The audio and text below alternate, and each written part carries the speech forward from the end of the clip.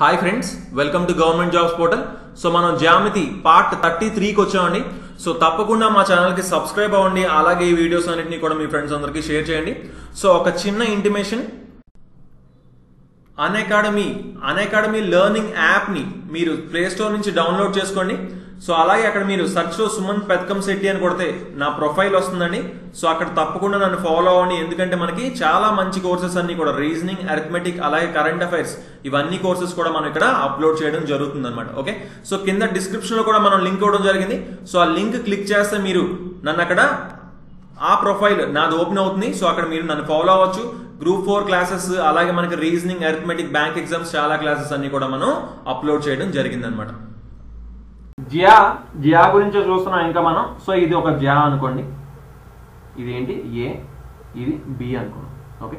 So ఇక్కడ జియా అనేది ఇటుపక్క మనకి తీటా చేస్తుంది అనుకోండి ఏం చేస్తుందండి? ఇటుపక్క మనకి తీటా చేస్తుంది అనుకోండి సో ఇప్పుడు చూసుకోండి ఎప్పుడైనా జియా జ్యా ఇటుపక్క ఉన్నది ఒక చాపం ఇటుపక్క ఉన్నది ఒక చాపము అలాగే ఇటుపక్క ఉన్నది మరొక చాపం అనమాట మరొక చాపము. ఇప్పుడు కూడా దీన్ని ఒక చాపం కింద దీన్ని ఒక చాపం కింద మనం తీసుకోవాలి.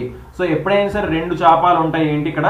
జా ఇది అయినప్పుడు ఏంటి? ఈ జా అన్నప్పుడు ఇదొక చాపము మరియు ఇది వేరు చాపం అనమాట అయితే ఇప్పుడు మనం చూసుకుంటే ఇది తేటా అయితే ఈ ఇక్కడ కోణం ఇక్కడ కోణం ఎంత ఉంటుంది వేరొక చాపం మీద చేసిన కోణం ఎంత ఉంటుందంటే నూట ఎనభై డిగ్రీలు మైనస్ తీటా ఉంటుంది. ఎంత ఉంటుందండి నూట ఎనభై డిగ్రీలు మైనస్ తీటా ఉంటుంది ఇది కూడా మనకి చాలా చాలా ఇంపార్టెంట్ అన్నమాట. ఓకేనండి? సో దీని మీద కూడా ఉదాహరణ చూద్దాం. వృత్తంలో ఒక జ్యా ఒక బిందువు వద్ద ఏర్పడిన నలభై డిగ్రీల కోణం అయితే ఓకేనండి?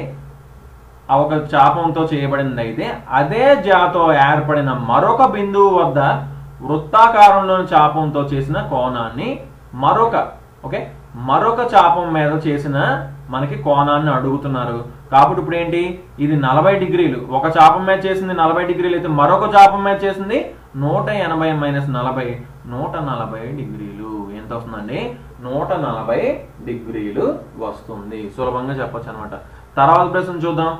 వృత్తంలోని ఒక చాపం మీద ఒక బిందువు వద్ద చేసింది డెబ్బై డిగ్రీలు అయితే మరొక చాపం మీద చేసే కోణాన్ని ఎంత అంటున్నారు? కాబట్టి నూట ఎనభై డిగ్రీలు మైనస్ డెబ్బై డిగ్రీలు ఎంత అండి నూట పది డిగ్రీలు అని సులభంగా చెప్పచ్చు.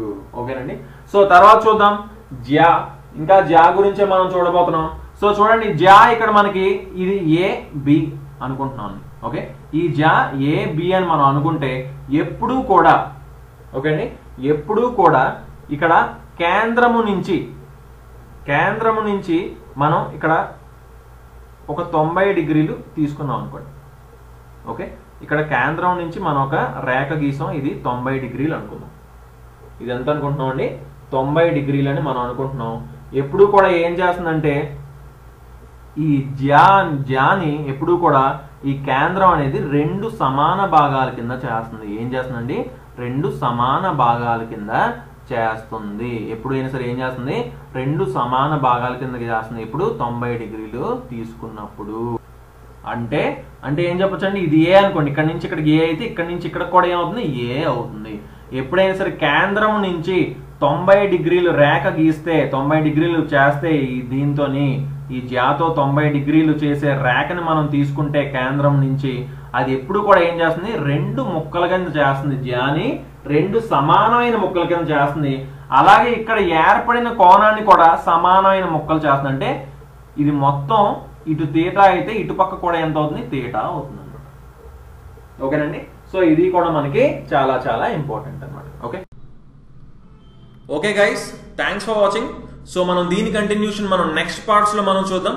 సో తప్పకుండా బాగా బాగా ప్రాక్టీస్ చేయండి. సో అలాగే ఇంతవరకు మా ఛానల్కి సబ్స్క్రైబ్ చేసుకోపోయి ఉంటే కంపల్సరీగా సబ్స్క్రైబ్ చేసుకోండి. అలాగే ఈ వీడియోస్ అన్ని కూడా మీ ఫ్రెండ్స్ అందరికీ షేర్ చేయండి. So thanks for watching and have a nice day bye